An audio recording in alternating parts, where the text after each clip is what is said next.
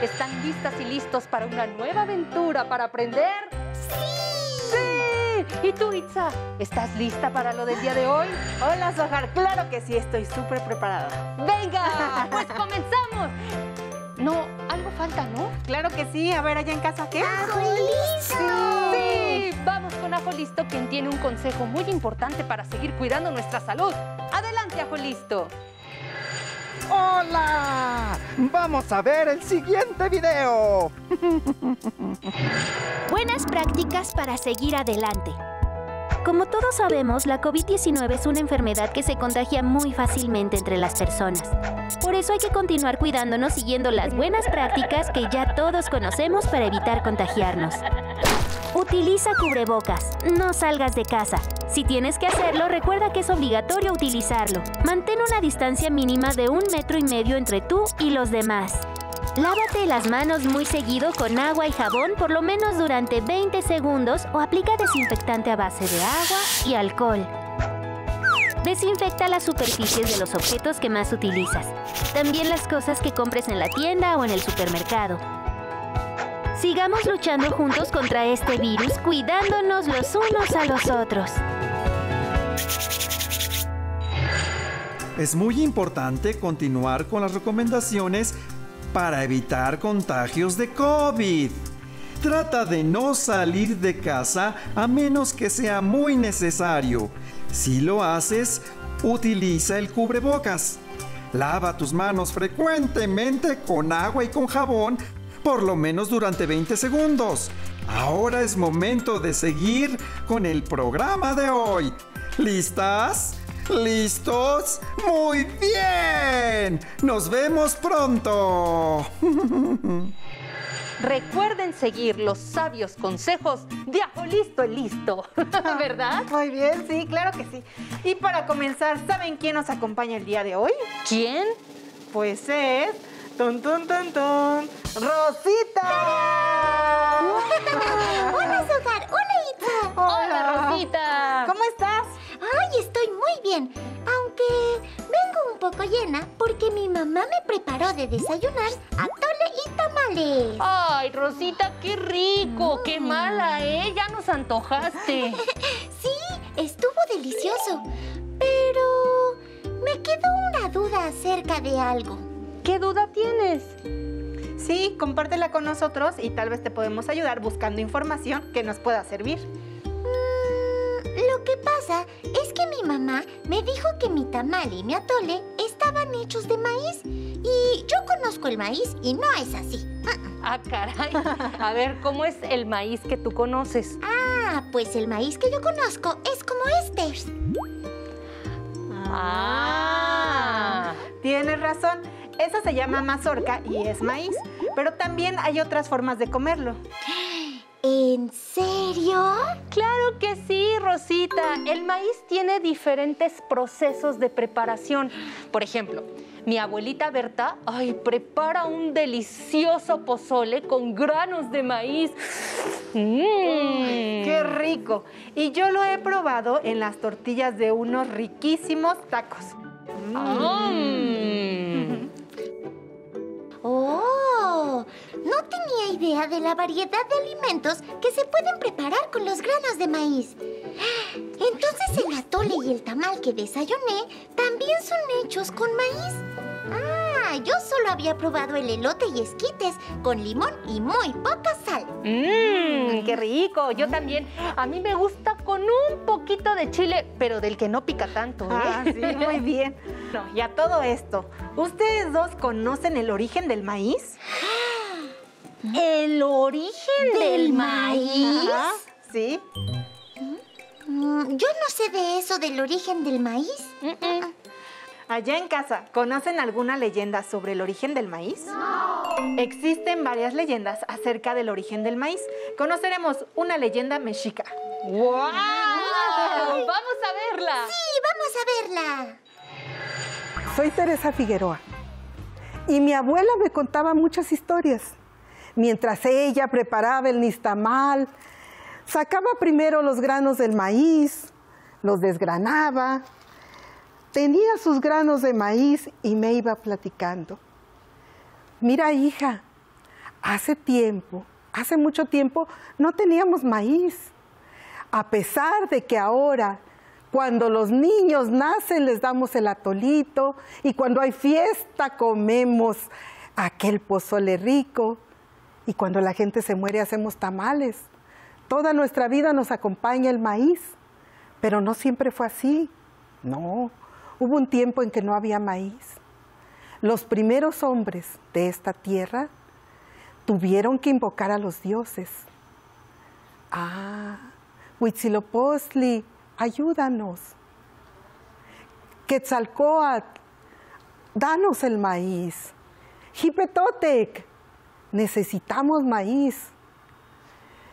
Tezcatlipoca, trae el maíz a nosotros. Mi abuela ponía más o menos una olla como esta, con cinco litros de agua, y ahí vaciaba el maíz. Prendía el fogón y empezaba a mover y a narrar. Cuando le dijeron a Huitzilopochtli, Huitzilopochtli fue hacia donde estaba la montaña de nuestro sustento, Tonacatépetl, y con toda su fuerza empujó y empujó para sacar el maíz. Y con toda su fuerza no fue posible. Fue entonces que llamaron a Jipetotec y Jipetotec trajo a Ejecatl, el dios del viento, y sopló y hubo huracán, pero la montaña no se movió. Entonces fue que invocaron a Tezcatlipoca. Y Tezcatlipoca trajo a Tlaloc con los fuertes caudales de lluvia. Y aún así no pudieron romper la montaña. La abuela tomaba un cucharón de estos de cal y se lo agregaba a la olla del maíz, porque así haría el nistamal. Y mientras movía y el agua con el maíz se volvía de color amarillo, seguía contando. Hablaron entonces los ancestros a Quetzalcoatl. Quetzalcoatl, Dios de la lluvia, pero sobre todo Dios del canto y de la poesía. Quetzalcoatl, tráenos el maíz. No han podido los dioses fuertes. Tú que eres el Dios de la poesía, ¿podrás traérnoslo? Quetzalcoatl vino al camino y a un lado del camino meditó y les dijo, no es la fuerza, es la inteligencia. Abuela sacaba entonces el nistamal y de aquel maíz duro, incomible, ya tenía esos granos suaves que se podían pelar sacaba la olla del fogón y seguía con aquel relato. Entonces fue que Quetzalcoatl vio pasar a las hormiguitas. En ese tiempo las hormigas no eran como ahora, eran un globito y se deslizaban por el camino como las hormigas de ahora. De regreso las veía pasar y en sus mandíbulas traían un granito de maíz. Quetzalcoatl tomó una tira de isle de Nequén y amarró a una de aquellas hormigas de la cintura. La amarró y como si fuera un perrito, la siguió. La hormiga caminó, rodeó las montañas, escaló y a las puertas de la montaña de nuestro sustento, abrió la puerta. Y Quetzalcóatl entró y tomó cinco granos de maíz hizo el camino de vuelta junto con la hormiga. Y cuando volvió a estar en el valle de la náhuac, desató a aquella hormiguita que le había enseñado el camino del maíz. La hormiga no volvió a ser igual. Desde entonces las hormigas son como ahora, que tienen una pequeña cintura. Y Quetzalcoatl entregó aquellos cinco granos a los hombres y mujeres que habitaban aquel pueblo. Sí, Cinco granos, maíz rojo, maíz azul, maíz amarillo, maíz blanco y maíz pinto. La abuela tomaba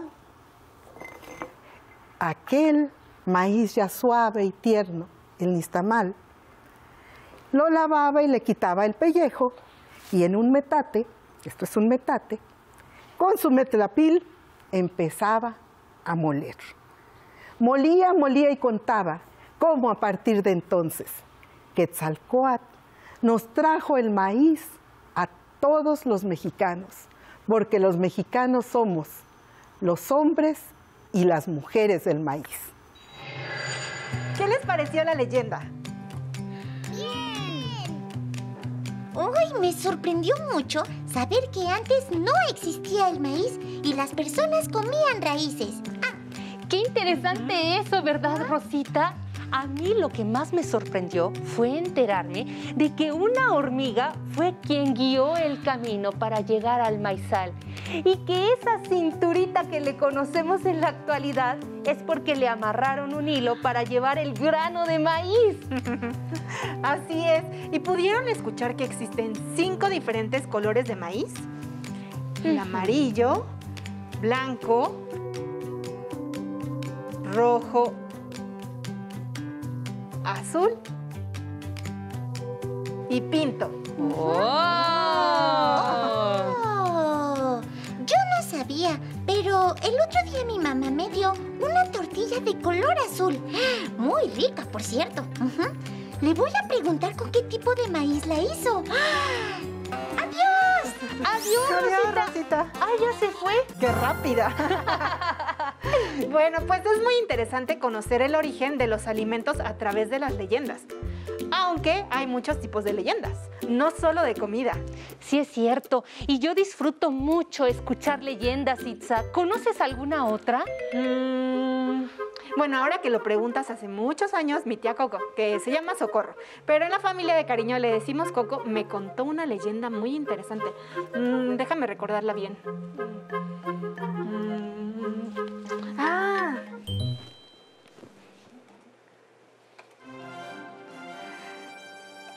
Ya lo tengo. Se llama el alebrije. ¿Listos y listos para escucharla? ¡Sí! Pónganse cómodos. Cuenta la leyenda que hace mucho tiempo un señor llamado Pedro Linares, experto en cartonería, enfermó de gravedad y cayó en un profundo sueño. Hay quienes incluso dicen que estuvo muerto por algún tiempo. En ese sueño tuvo la sensación de haber estado en un bosque tranquilo, atravesado por veredas rocosas en donde frecuentemente escuchaba ruidos extraños. Al buscar el origen de aquellos sonidos, aparecieron frente a él criaturas extraordinarias que repetían incesantemente una misma palabra. Alebrije, alebrije, alebrije, alebrije. Cuando despertó, don Pedro asegura haber visto un burro con alas y un gallo con cuernos de toro. En ese mismo sueño se le apareció un hombre que le indicó la salida de aquel mundo fantástico. En cuanto recuperó sus fuerzas, comenzó a recrear aquellas criaturas extrañas utilizando la técnica de cartonería que ya dominaba. A estas nuevas esculturas les puso el nombre de alebrijes, tal como recordaba haberlos escuchado en aquella aventura. ¡Guau!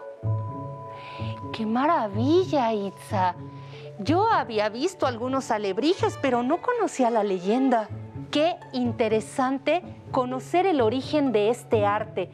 Y me llamó la atención que durante la leyenda mencionaste que se elaboran a través de la técnica de cartonería, ¿verdad? Así es, la cartonería es una técnica con la que se crean figuras a través de un proceso de modelado de papel periódico y otros tipos de papel. Yo he modelado algunas figuras, pero con masilla. En algunas sesiones aquí lo hemos hecho, pero con papel periódico nunca. Pues cuando estaba con mis alumnos hicimos alebrijes con papel periódico, rollos de cartón y engrudo. Creo que lo tengo por aquí. Mientras lo busco, les invito a ver el siguiente video. Sí, qué interesante. Disfrútenlo.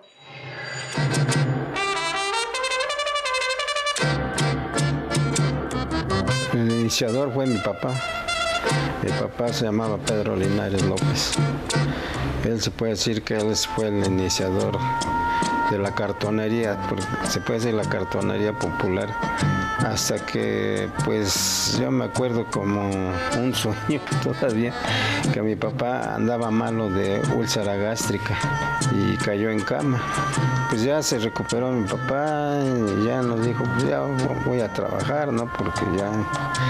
De momento pues nos dice, miren, dice, voy a hacer unas figuras que se me aparecían cuando estaba yo este, dice que me privé de la vida, dice yo pensé que también que estaba yo muerto, dice, pero porque se me afiguraban muchas eh, figuras en, el espacio, ¿no? En el firmamento, dice, como monstruos, dice que me querían agarrar, dice, era como cara de chango con cuerpo de rana o así, medio raro, ¿no?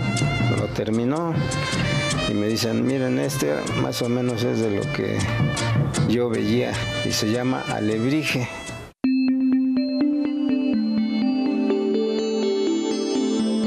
Con el tiempo pues yo fui agarrando este práctica. Ya después pues ya vi que mi papá este tenía pedidos de alebrijes y ya dije, pues voy a hacer uno a ver cómo me salen a mí, ¿no? Y mi primera alebrije sí me acuerdo que fue uno como armadillo y arriba le monté una calavera y les gustó mucho aquí en el Museo de Arte Popular.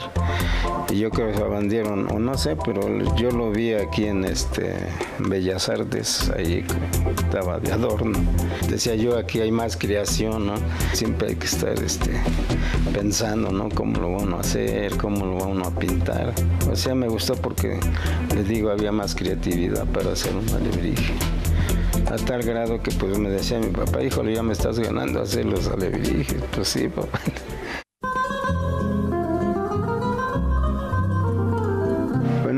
Proceso es este, el periódico.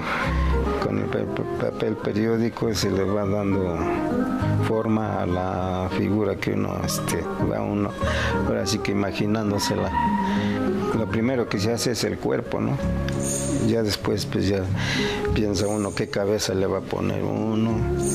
Eh, le vas a poner garras, le vas a poner pezuñas, ya, ya viene la, creatividad ya se le da un forro de papel crack, por eso es que están llenos los alebrijes, no, no se rompen tan fácil. Pues ya que está hecha la figura, pues ya viene la, la pintura y también para la pintura pues es, es como le diré, lo principal, ¿no? Porque es lo que le da vista a, la pieza, sí.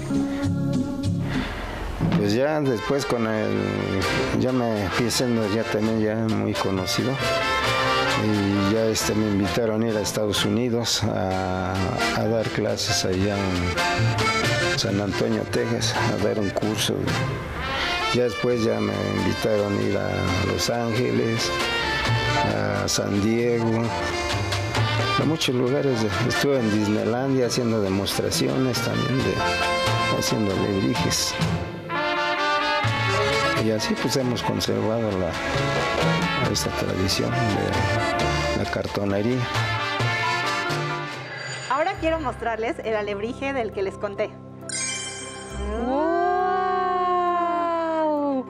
Itza, está increíble. A ver, observo que tiene cuerpo de gato y tiene cabeza y patas de conejo. Sí. y miren su nariz. Es de, ah. de cerdo y ese detalle de ponerle unas alas de mariposa, ¡guau!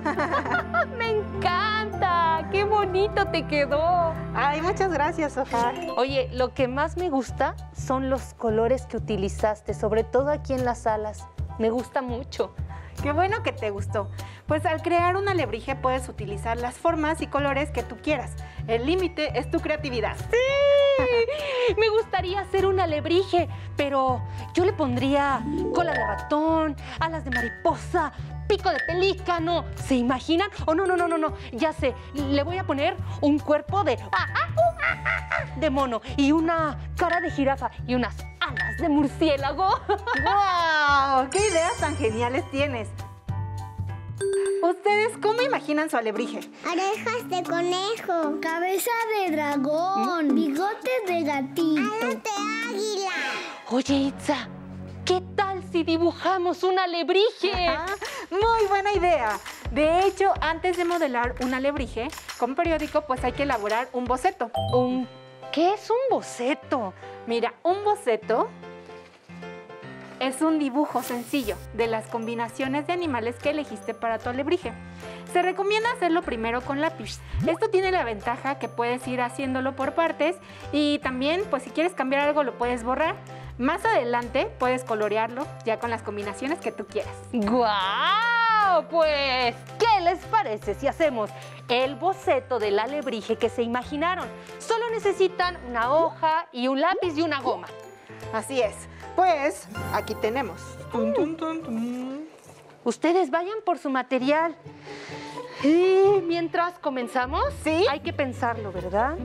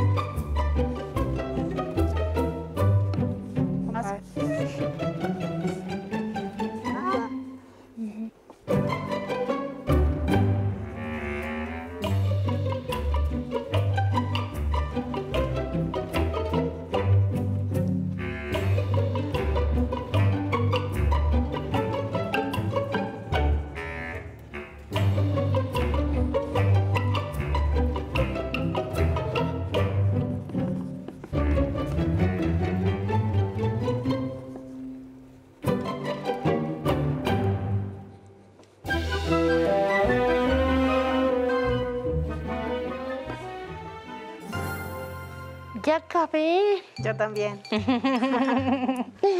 Listo. ¿Quieres ver cómo está el boceto de mi alebrije? Claro que sí. A ver. Allá en casa les voy a mostrar. Este es mi boceto. Mire, mi alebrije tiene cara y cabeza de... Jirafa. Jirafa. Orejas. Y panza. De orangután. Tiene unas alas Murciélago. de murciélago. ¿Y estas patas? ¿Adivinan de qué son? Conejo. Sí, de conejo. Y le hice una cola de gato. Y finalmente este ojo. ¿De qué es Itza? De panda. ¡De oso panda! Ay, me gusta mucho. ¿Te gusta? ¿Quieres ver el mío? Sí, queremos. Tun, tun, tun, tun. Aquí está. El mío tiene cuerpo de pez. Tiene pico de pelícano. Le puse alas de mariposa. Le puse una cresta de gallo. Y le puse unas patas de gallina. Aquí está el mío. ¡Y una cola! Ah, sí. Tiene una cola de ratón. ¡Guau! Cola enrollada de Así es. ratón. ¿Y en casa? ¿Cómo van? No te preocupes si no terminaste. Puedes terminarlo con calma más adelante. Además, puedes hacer varias pruebas de cómo te gustaría que fueran las partes fantásticas de tu alebrije. Aquí les compartimos algunas ideas de alebrijes. Sí, qué divertido. Vamos a verlas.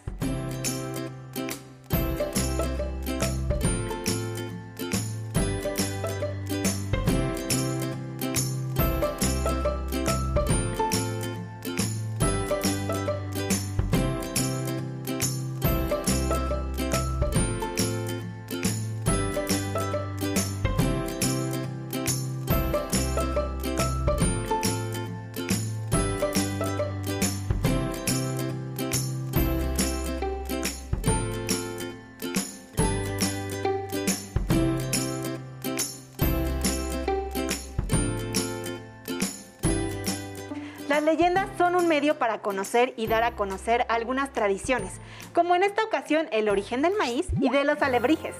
Si te es posible, consulta otros libros y comenta el tema de hoy con tu familia. Y si tienes la fortuna, fortuna de hablar una lengua indígena, ¿por qué no aprovechas este momento que seguimos en casa para practicarla y platicas con tu familia en tu lengua materna? Muchísimas gracias, Itza. Estuvo muy divertida la sesión de hoy y aprendimos algo muy interesante. Gracias, a mí me encantó haber estado en este programa con ustedes. Fue muy divertido y también aprendimos demasiado. Ojalá que lo hayan disfrutado allá en casa. Estamos seguras que sí. Por hoy hemos terminado con Leyendas y Tradiciones de Lenguaje y Comunicación.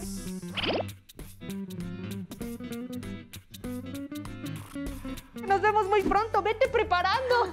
Adiós. Y justo para ir calentando motores, vamos a hacer la siguiente pausa activa juntas y juntos. Venga, vamos, Insa. Oh, oh, eso.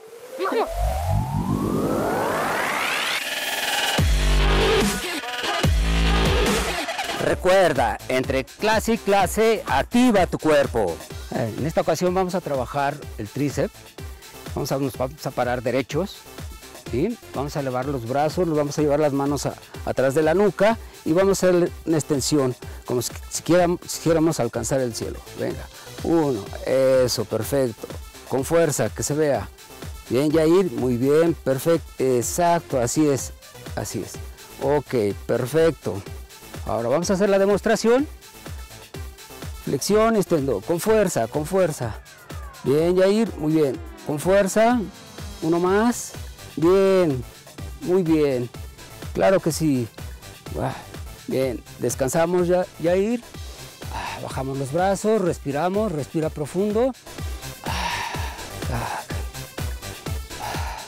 Ahora vamos a trabajar el brazo de bíceps. Vamos a- nos vamos a parar derechos, vamos a pegar los codos a nuestro cuerpo y vamos a hacer la flexión a 90 grados. Bajamos, flexionamos, exacto, muy bien Yair, así exacto.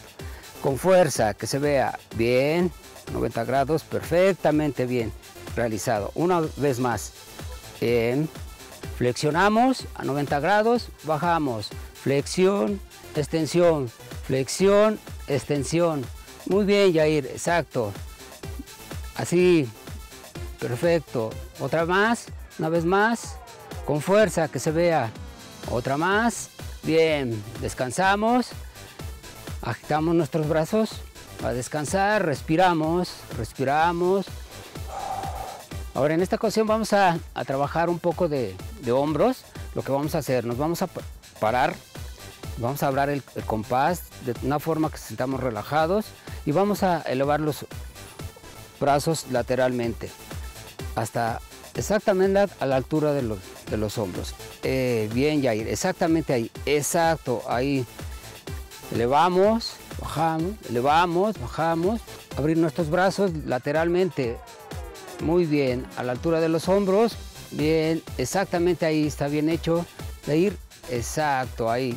Con fuerza, respiramos, bajamos. Arriba, abajo, arriba, abajo. Muy bien, otra más, una vez más. Bien, descansamos, relajamos, respiramos profundo, bien.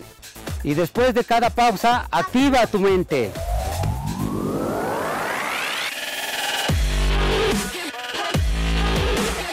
Si tienes alguna duda, contáctanos. Página web cep.gov.mx. Correo buzón.escolar@nube.cep.gov.mx. Facebook arroba cepmx. Twitter arroba cep-mx. YouTube canal cep. Instagram, arroba CEPMX. Teléfonos Educatel 800-288-6688 y 800-734-7376. Para solicitar apoyo pedagógico, comunícate con maestras y maestros de lunes a viernes de 8 a 20 horas al teléfono 55 36 01 87 20 con 30 líneas. Si quieres volver a ver los programas de Aprende en Casa, los puedes encontrar en la siguiente liga: aprendeencasa.cep.gov.mx.